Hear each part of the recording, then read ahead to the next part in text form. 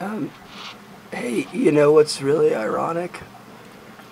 Is getting brand new speech recognition hardware. Speech recognition. Speech recognition. And then losing your voice. Wah, wah, wah.